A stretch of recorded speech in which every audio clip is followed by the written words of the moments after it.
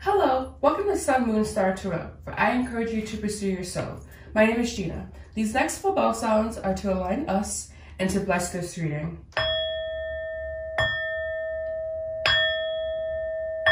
This is going to be a reading for Scorpio, and this is going to be for the month of January uh, 2021. Holy crap. And this is just going to be your overall reading, all right? So we're going to see what we're going to focus on this month, and then we're going to go ahead and get started. So Spirit, please. Scorpio Spirit, I guess. Uh, what do you want? All right? So focus on here. Here we have success. All right, so this is going to be around success, career this month. Is going to be what is your main focus uh, for you?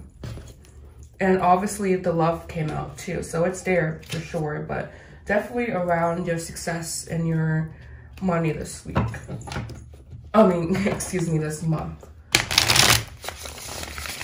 Sorry, I thought someone was coming up my driveway. So I just looked out a road, whatever.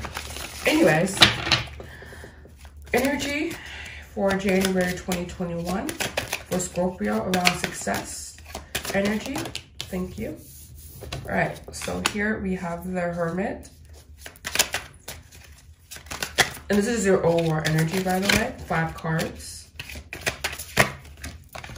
We have Nine of Swords.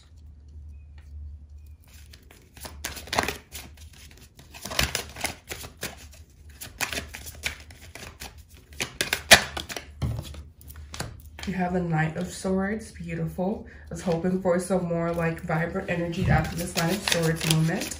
You have Death, oh, beautiful. Yes, your energy coming through, Scorpio. We also have Virgo energy on the board here. Going within, finding the answers um, by suspending yourself and becoming less active and more uh, passive, like. And one more, please. And I'm getting a lot of gray here, so it may seem like a lot of grayness around your career. Oh, a lot of like two of swords energy, you know? Uh, just a lot of like, I don't know. Two of Swords, Eight of Cups, moving on from that. Queen of Pentacles, swapping into Queen of Pentacles energy, Three of Wands. Having that overall, uh, like, overall expansive energy. And then clarifying, we have Temperance, which is beautiful, more yellow energy. More solar plexus, some action uh, being clarified by the Wheel of Fortune. So this is change. So movement into balance, particularly around your thoughts around your business and how you feel about your business, but thoughts and feelings balancing themselves out uh, as far as what's coming overall. Um, there is an energy of transformation, so there, this could be um, monetary gain. But I'm getting this is more so of a mental journey for you this month regarding uh, your success. Uh, you could be an entrepreneur uh, or just simply be in corporate and kind of like trying to move up or even change careers. So there is some indication of just a beautiful transformation, transformation happening this month around your career. And this is around perhaps letting go of fear. I'm going to use my Osho Zen uh, to clarify, I was going to use the bear, this, the Twin Flame, but Oracle. I'm going to use actually this deck here. We have, again, coming in Queen of Pentacles. This one fell out. Knight of Pentacles, slowing down. Uh, this is a journey. Rome wasn't built in a day. You have to be able to enjoy the journey to enjoy the results. It's like kind of when you're exercising, you know? You enjoy the results that you get but you feel amazing when you're done exercising. You should feel mentally clear. So this is kind of just that same energy. God, this is like crooked. I'm always crooked. Excuse me. Really sorry about that. It's a sore eyesore. I know. I know. Um, I'm just going to do one, two, three, four cards to clarify. Here we have existence. That's the magician. So you believing that you can really manifest this. There, again, this is there is some fear um, around this manifestation, around your success, around your business. You have to believe, you have to step into the magician role. You have to believe uh, that you can do this, all right? Yes, you are successful. You can have success, but do you believe this? You are successful. And we have two cards here with the word success on them, okay? So double confirmation, you are successful. You can be successful. You just simply have to put in that like, you know, like I'm getting kind of like, it's almost like building a car, like the assembly line in a way. Like you have step one, step two, step three, and you have to enjoy that process. It kind of like the exercising um, metaphor coming in again. We have letting go. Uh, what does need to be let go here, Spirit? Thank you. You have turning in upside down. And then we have aloneness coming in again. So there may be some preconceived notions that you have around what it takes to be successful. And this is definitely that energy of transformation and that new thought pattern as well. So it might even not be fear per se, but it may just be a limiting, a limited belief that does not serve you in the current business that you're in. For example, I am in the tarot business, right? Um, and there are like tons, plenty of tarot channels on uh, YouTube, right? So I have to suspend my belief and know that my passion and what I love doing, which is which are cards, um, I have to believe and I have to let go of limiting beliefs like, oh, my channel is small. Oh, like just anything that my ego tells me, um, I have to let it go, all right? I have to suspend myself in this aloneness, which you have twice here. Uh, so Virgo energy is heavy around your spread this month. Uh, but yeah, just turning inward and releasing because Four of Cups is all about them like that really boring um monotonous kind of just like the day-to-day -day, like you kind of repeat everything like you repeat the day. It's letting go of it's kind of like suspending routine in a way but like in favor of something that serves you. So perhaps your current you have outgrown your current routine, whatever that is, and you are being called and inspired to expand on where you are. But you, there's definitely an energy of success around you. And you also have traveling here as well. So you may be traveling. And I'm just gonna take one, the first one that fell out. We have integration here. Uh, and the reverse, this is temperance actually in the reverse. So there definitely is a lack of balance. Um, pertaining to this Wheel of Fortune moment here, pertaining to the balance itself. And we do have abundance here. That was what was being clarified here. So I guess they did want me to uh, put that on the board here. But we do have death here again. So there's a lot of repeating energy here for sure for you. All right, so that was your clarifiers. But yeah, definitely like changing up some thought patterns here and bringing some more balance in because uh, this fear is doing nothing but holding you back. Your fear is holding you back. Your fear is holding back your success. Uh, and yeah, so we're going to do, this is the overall of the month. So we're going to do current challenge for the month of January for Scorpio. I'm going to do three cards, something a little less and again, I'm like trying to make this so it's not like, doesn't look crooked on camera and it's just, it's not working with me today. They're saying no, we're not gonna help you. Okay, that looks a little bit better. All right, current challenge for Scorpio for the month of January. Current challenge, thank you. All right, so there really is no challenge for you. Uh, but the challenge of being happy in a way, uh, the, cha the challenge of deciding your happiness. Um, but God, you have the four wands being clarified by the sun.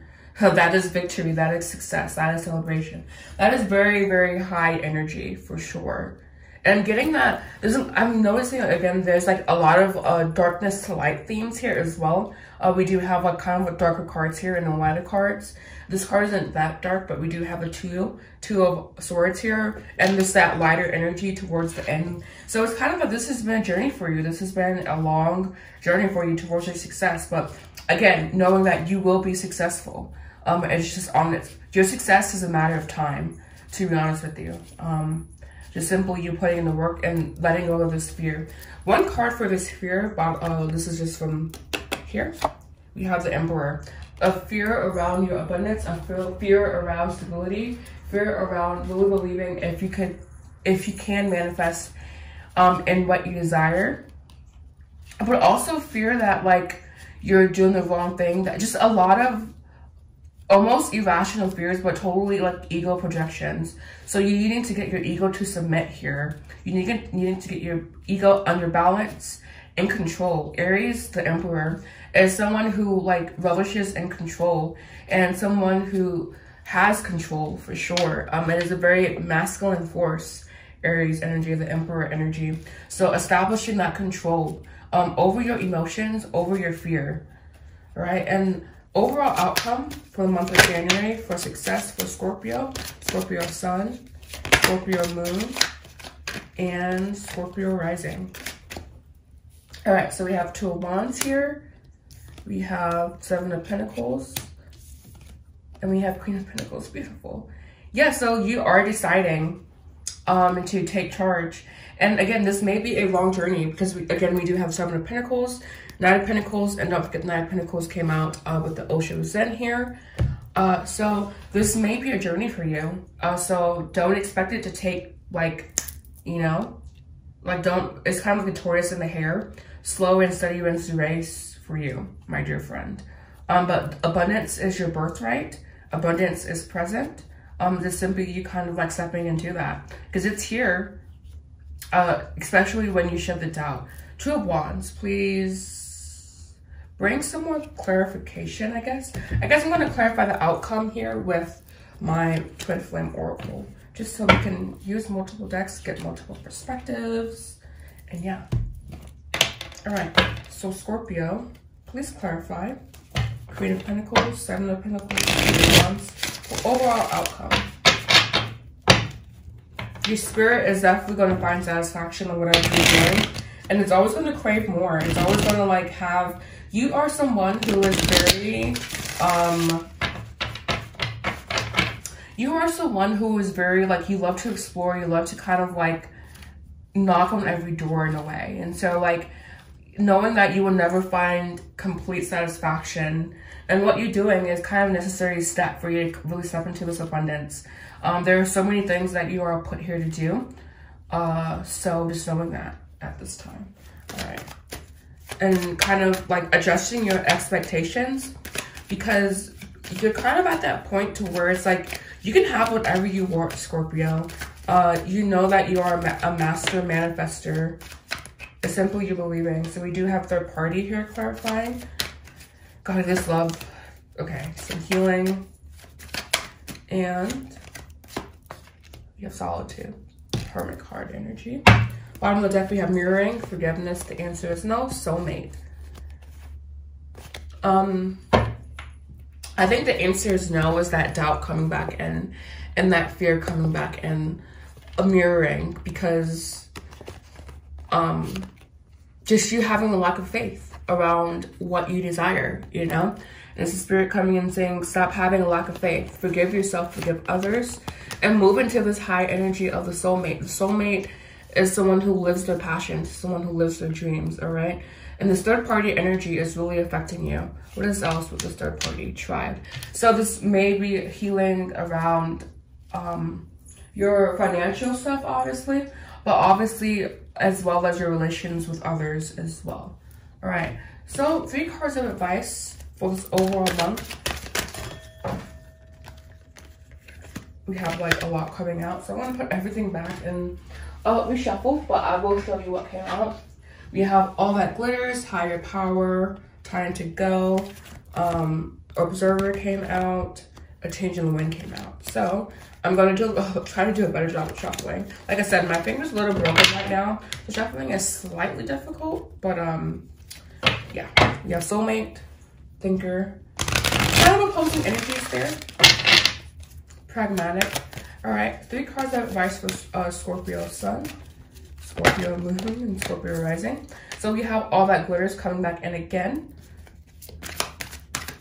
As you need to stay aware of falsehoods around you but also knowing that um, you know what's fake and you know what's not, you know, like you have this, you have the ability to discern, basically. You have to the sea, connecting with spirit at this time, Scorpio.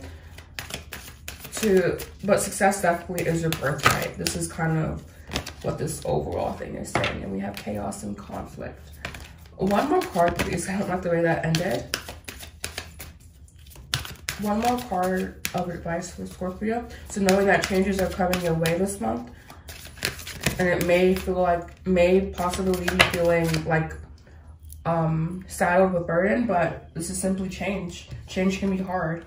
And we, again, so we do have time to go, and then we do have time for a nap. So you needing to take a mental rest, a mental pause, and then we have Milk and Honey on the bottom of the deck. Happy, happy, round and round. This is your ever, your cycle is the cycle of abundance. And you need to embrace that.